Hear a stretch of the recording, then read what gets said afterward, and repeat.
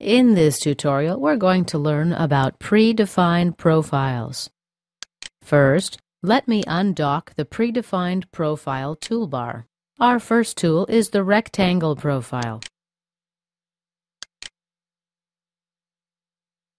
As you see, a rectangle is defined by width and height. Okay, let's delete this. Our next tool is an oriented rectangle.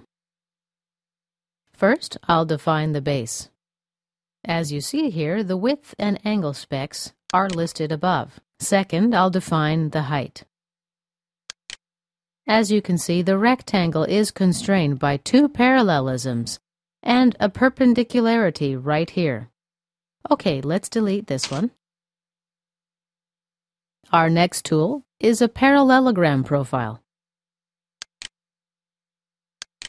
First, I'm going to define the base, then the height, and the angle. And you see the geometry is constrained by two parallelisms. Let me delete it. The next predefined profile is an elongated hole. First, I'll define two central points and next, I'll define the radius. You see that the geometry is constrained by four tangencies, an offset, and a parallelism right here. Okay, let's delete it. Next, we have a cylindrical elongated hole. First, we define the circle. Next, we define segments of the circle. Now I'll define the radius. And here is our elongated hole. These two circles are concentric. As you can see, another constraint are the four tangencies and the radius. Let's delete that geometry. The next tool is the keyhole profile. First, let's define two center points. Next, the small radius. And lastly, the bigger radius.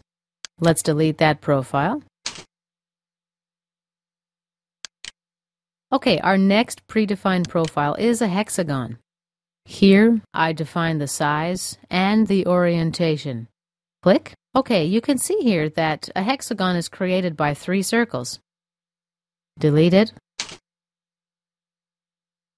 Next is a center point rectangle.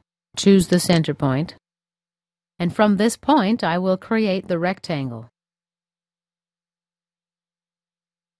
As you can see, the geometry is constrained by parallelisms and equidistances.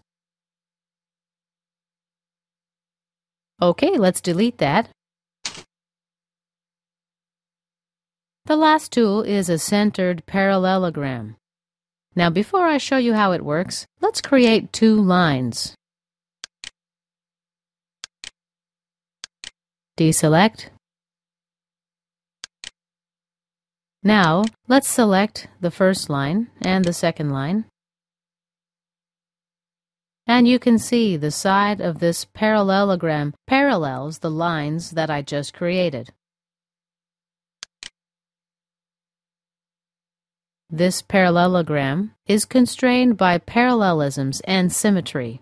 This concludes our tutorial on predefined profiles.